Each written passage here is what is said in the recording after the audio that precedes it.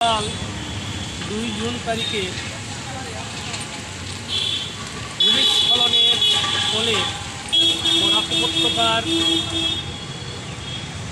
প্রায় একুশ জন ব্যক্তি নিহত হয়েছেন।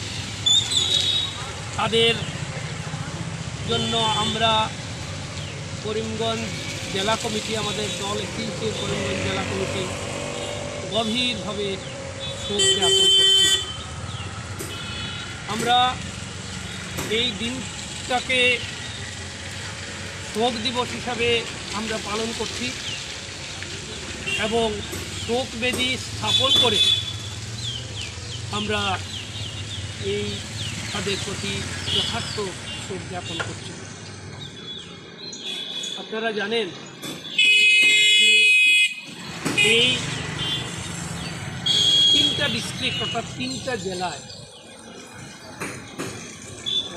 আমাদের করিমগঞ্জ জেলায়, কালীগঞ্জের একটা সীমন্ত কানিশাইল অঞ্চলে ছয়জন শিলচরে, অর্থাৎ কাছাড় জেলায় সাতজন এবং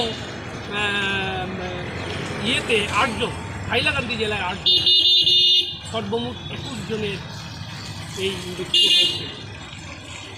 আমরা এই মৃত্যুকে কেন্দ্র করে আমাদের দল এসিউসিআই তিন জেলায় আজকে শোক বেদি স্থাপন করে শোক দিবসকে সামনে রাজ্য সরকারের কাছে আমরা দাবি জানাচ্ছি যে প্রথম হচ্ছে যারা আজকে নিহত হয়েছে, এই ভূমিস্খলনে তাদেরকে উপযুক্ত ক্ষতিপূরণ রাজ্য সরকার কর্তৃক দিতে হবে। দুই নম্বর হচ্ছে, যারা আহতও হয়েছে, শুধু নিহত হয়েছেন তা নয়, আহত হয়েছেন, তাদেরকেও যথার্থ চিকিৎসা এবং ক্ষতিপূরণ দিতে হবে। আমরা পাঁচটা দাবি উত্থাপন করেছি। তিন নম্বর দাবিটা হচ্ছে যে, আমরা ভূমিদোষ প্রবণ এলাকায় অবৈধ খনন যেগুলো হচ্ছে, এগুলো বন্ধ করতে হবে। এই দাবিটা উত্থাপন করছি রাজ্য সরকারের কাছে। চার নম্বর দাবি হচ্ছে, অবিলম্বে ভূমি ধস প্রবণ এলাকায় আগাম সতর্কতা জারি করতে হবে। এই বিষয়টা অত্যন্ত জরুরি সরকারের পক্ষ থেকে ভূমিধস প্রবণ এলাকায় আগাম সতর্কতা জারি করতে হয়। সেইটা সরকারের পক্ষ থেকে এটা করা উচিত।